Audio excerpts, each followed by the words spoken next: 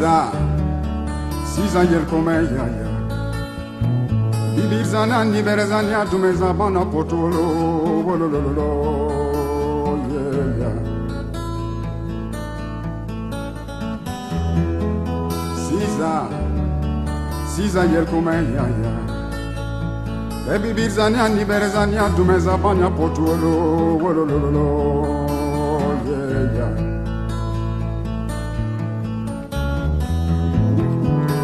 mi iti ye la soma iria.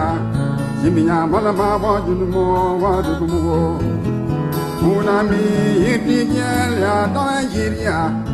Jimima wana ma ya dugmo wa dugmo iminya seninga anongia iminya wana ma ya dugmo wa dugmo Didinya, la la la, yera la yera la la la.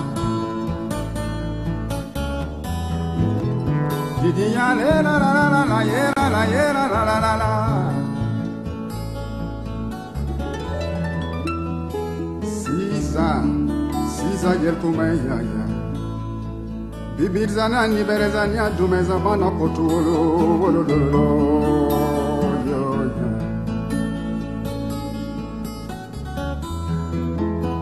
Siza Siza yel kumeya ya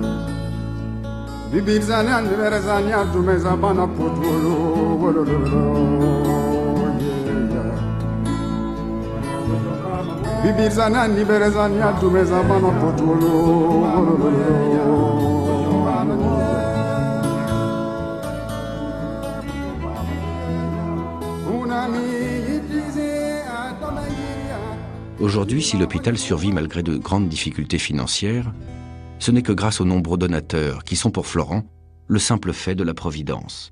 Vous m'avez souvent parlé de providence. Qu'est-ce que c'est la providence? Impossible de, de faire Ah, une peinture. là. Moi, la providence, je la sens. Je, je- je- je la ressens dans, dans ma vie. Mais la providence, c'est sûr que c'est cette euh, intervention de Dieu dans notre vie, dans la mesure que nous lui faisons confiance. La providence n'est pas seulement les sous, n'est pas seulement le manger.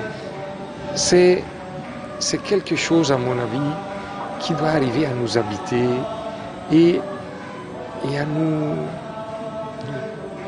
nous transformer en, en quelque chose qui n'est pas plié sur nous-mêmes, mais qui va vers les autres.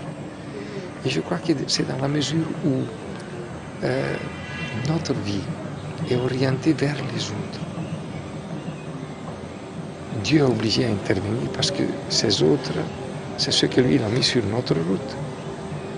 Et il ne peut pas les envoyer vers nous sans pouvoir nous donner les moyens de leur faire ce qu'ils attendent.